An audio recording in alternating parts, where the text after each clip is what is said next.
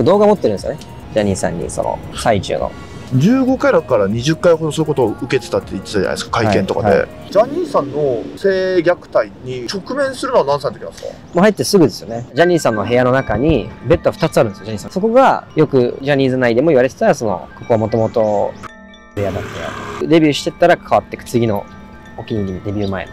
その部屋で寝なよって言われて、初めてそういうことがあったっていう。ちなみにそのタイミングでカワンさんは別に童貞ではないんですか？違います。たまたま経験できてたんでよかったですね。これが卒業ってめっちゃですよね。早くて小6中1でされるんで。